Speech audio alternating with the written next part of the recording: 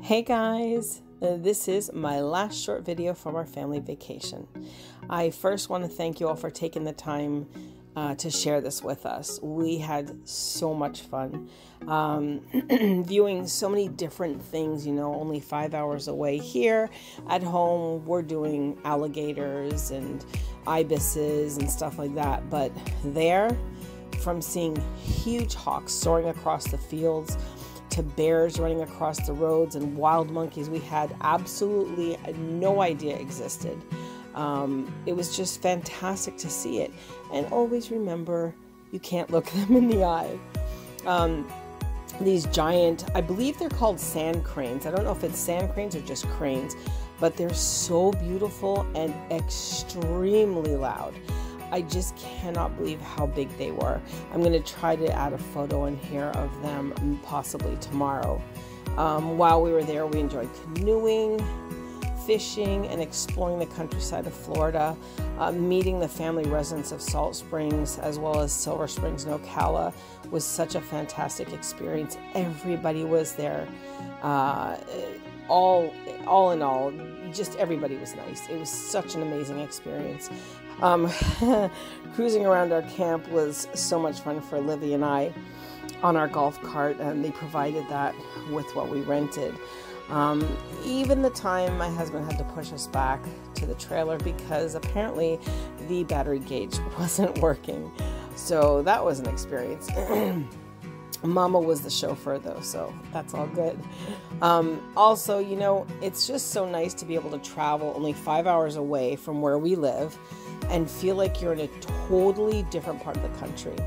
Uh, we're definitely going to return and enjoy it all over again.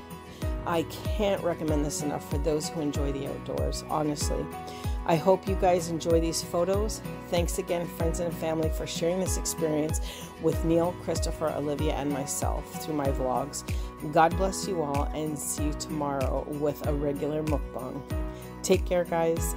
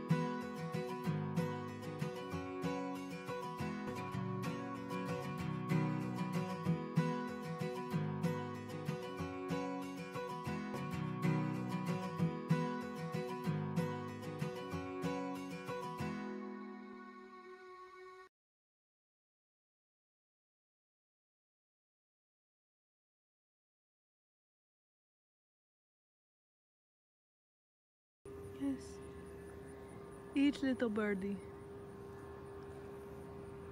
And please don't attack me. That wouldn't be nice. Thank you. Thank you for your time.